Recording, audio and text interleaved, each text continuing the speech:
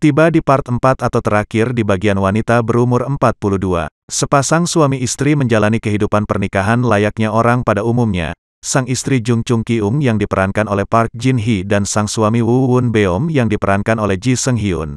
Keduanya bekerja di tempat usaha mereka yakni pembuatan dan penjualan furniture home industry. Lalu dalam suatu pagi mereka terlibat pertengkaran soal bisnis mereka di mana Wun Beom tak memberitahu istri tentang pemasok kayu mereka yang tak bisa mendistribusikan bahan ke tempat mereka sehingga proyek mereka terancam melewati batas deadline.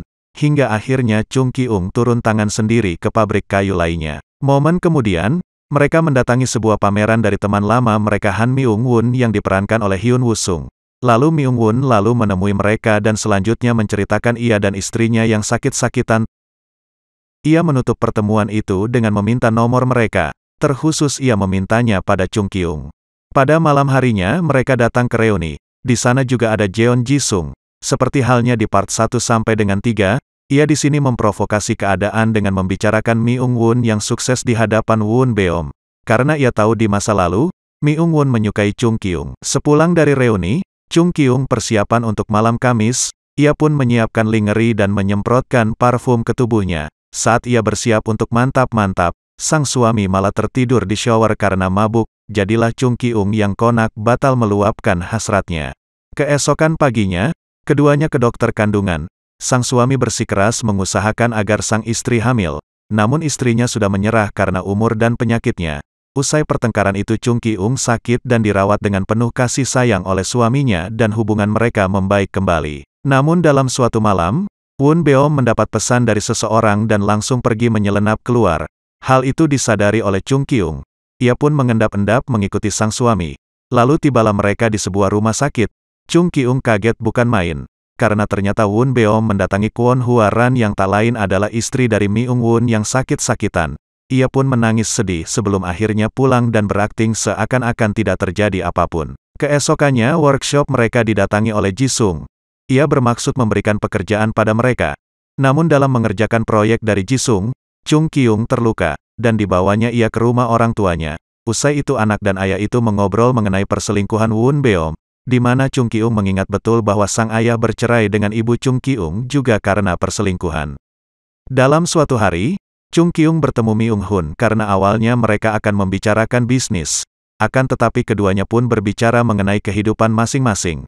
Myung Hun curhat bahwa sudah lama istrinya menginginkan bayi, tapi selalu gagal termasuk gagal di program bayi tabung. Karena itu ia jadi sakit-sakitan karena mentalnya kena. Yang mengejutkan Myung Hun juga tahu bahwa istri sering dikunjungi Won Beom. Chung Kyung pun marah karena suaminya digunakan alat untuk membuat Myung Hun cemburu. Dan di akhir percakapan mereka, Myung Hun berinisiatif untuk mengajaknya mutualan. Di malam harinya, Chung Kyung yang kepo, mendatangi rumah sakit kembali dan melihat istri Myung Hun yang marah-marah pada Myung Hun karena tak perhatian. Selanjutnya Chung Ki-ung pulang dan marah pada suaminya yang tak cemburu, saat ia makan bersama Myung Hun.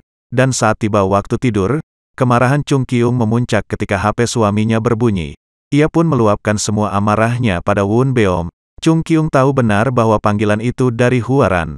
Pada paginya suasana makin panas. Setelah Huaran datang ke workshop mereka, hal itu membuat Chung Ki-ung berubah menjadi mak lampir level 4. Huaran pun, memanas-manasinya dengan mengatakan suami Chung Kyung mencintainya dan mengajak Chung Kyung bertemu untuk membicarakan itu semua. Di pertemuan itu juga ada Ji Sung sebagai moderator war. Dalam perang itu Huaran merasa congkak di awal namun bisa di comeback sempurna oleh Chung Kyung. Dengan mengatakan bahwa selama ini, ia yang menyuruh suaminya mendatanginya karena mereka mengasihinya. Huaran pun kestun dan kena mental. Pulang dari war, Chung Kyung meluapkan semua amarahnya pada suaminya. Setelah itu ia pergi ke pelukan Myung Hun. Di sana Chung Kyung dimandiin kucing oleh Myung Hun. Dan mereka pun foreplay menuju acara puncak yakni kuda-kudaan. Namun di saat yang sama ayah Chung Kyung sakit dan dibawa ke UGD oleh Won Beom. Ia pun mencoba menelepon istrinya berkali-kali. Namun HP selalu direjek oleh Myung Hun. Won Beom yang frustasi lalu menuju ke tempat Myung Hun. Di sana Myung Hun yang bersiap merudal Chung Kyung ditampik dan gagallah usaha kuda-kudaan itu. Di saat yang sama Won Beom datang dan bersiap meluapkan amarahnya pada Myung Hun. Lalu Chung Ki-ung dikabari bahwa ayahnya telah meninggal. Selanjutnya keduanya memberi penghormatan terakhir pada mendiang ayah Chung Ki-ung.